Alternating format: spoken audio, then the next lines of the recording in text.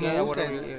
You know, dude, it was it was a hell of a fight. Yeah, yeah, You it did a was. great job tonight. How do you feel? Man, I feel good, bro. I feel like, like I said, you know, I feel like I'm dreaming right now. You know, I beat, I came in, I beat the, the, the, the favorite over here. You know, we made the opposite. You know, it's nothing new in my career. If you check my career, I've been putting, I've put making um, opposite. You know, going every state and beating the best guy.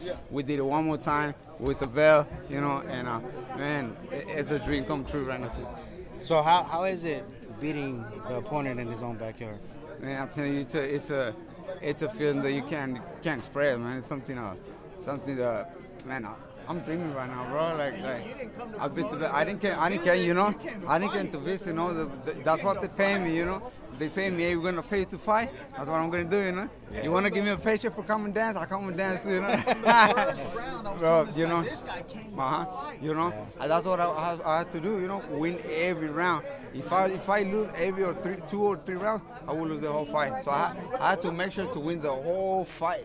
I was trying to stop him, you know, I couldn't stop him. You know, the guy, he's all hard, you know, he, he, he's a fighter too. He's very good, and um, he, he never stopped fighting back. So, so you know, I thought, honestly, I thought I was uh, I wasn't gonna get the decision tonight. Know? Really?